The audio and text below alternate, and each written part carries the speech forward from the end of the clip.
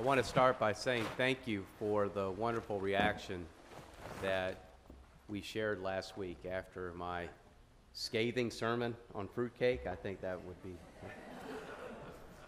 Who knew that fruitcake would be the thing that divides this congregation, right? I had people walking out of the of the church and some would whisper, I don't like them either. Like, you know, it's like if, if they say it out loud, they're going to get in trouble. And I also had people who just walked by and said, Claxton, and they walk off like it's a code word, like Claxton. Well, as someone graciously left this week for me, they're talking about the uh, Claxton fruit cake. Still unopened, just want to let you know that. But I know that Christmas came early because I also got a wonderful gift from uh, Grover and Doris.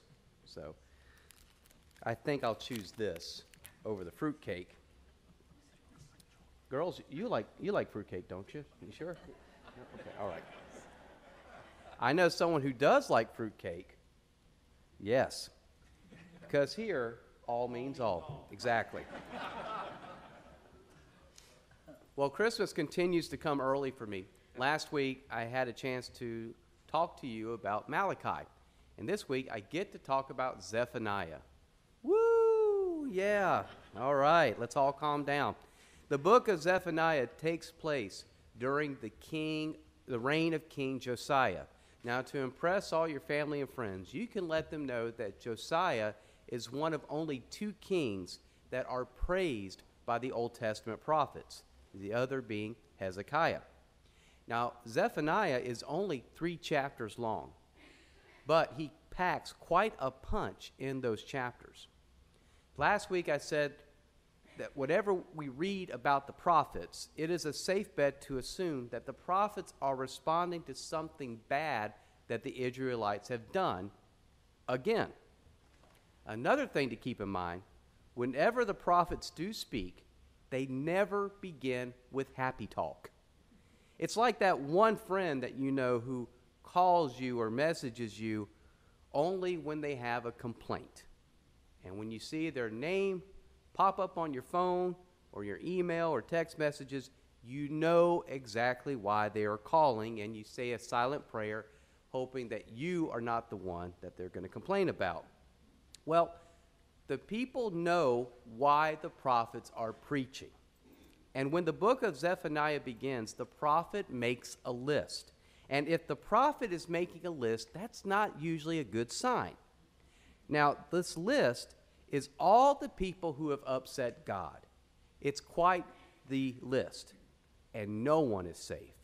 You have people and nations who worship other gods. You have Judah, Jerusalem on the list, false priests, humans, animals, birds, fish all means all on this list.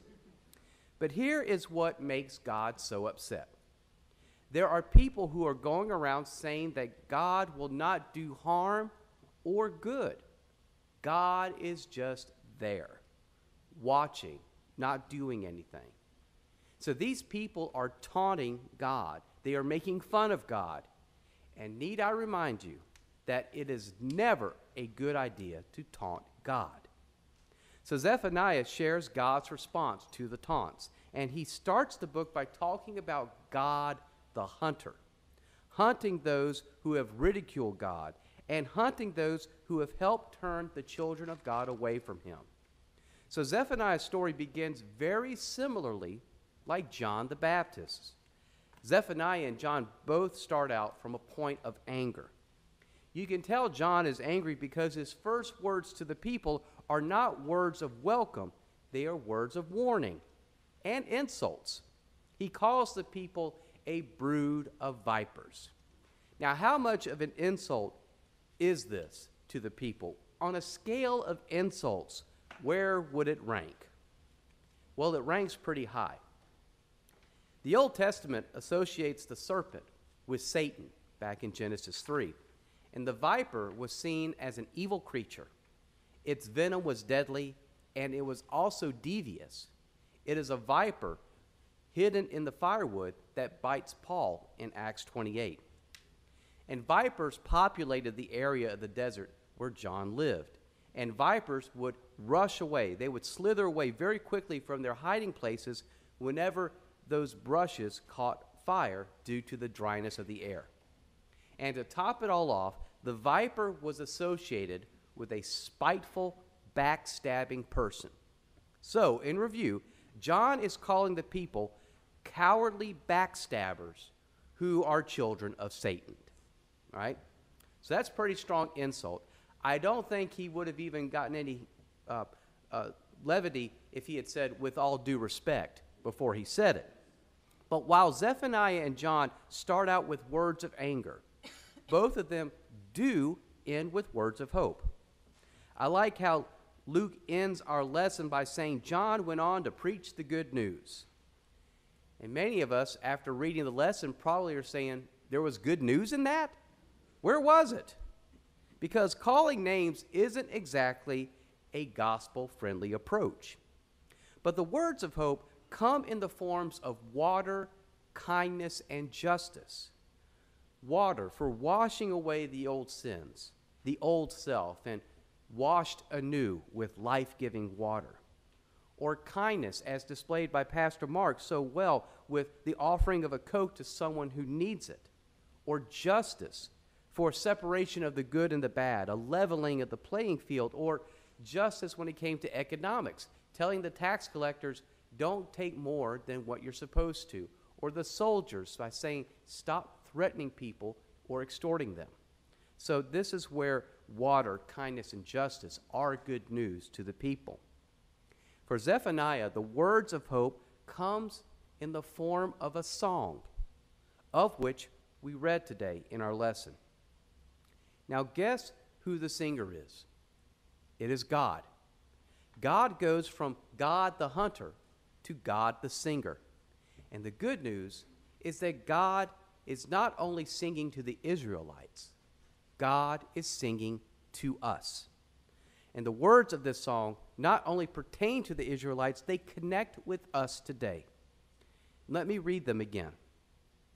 The Lord has taken away the judgments against you, He has turned away your enemies. The King of Israel is in your midst. You shall fear disaster no more. On that day it shall be said to Jerusalem, Do not fear, O Zion.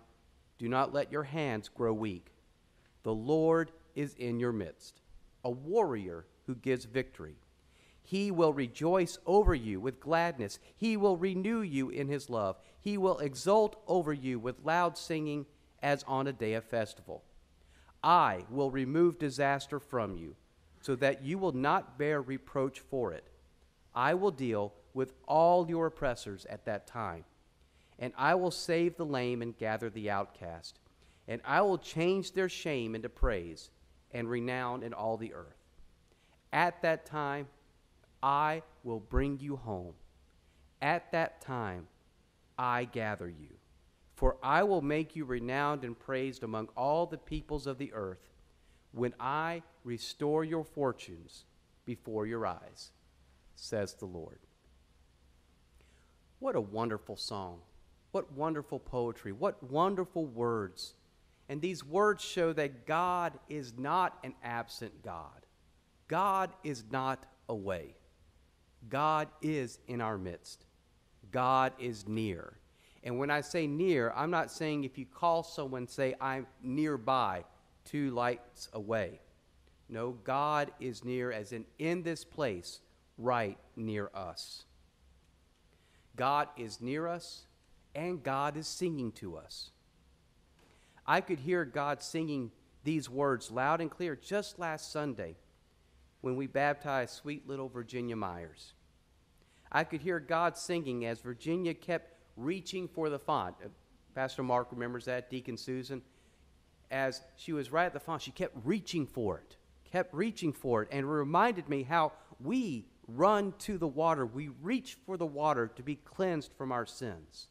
It also reminded me of how we run to God just like the people in our lesson from Luke. And then later on, I believe it was her cousin Davis.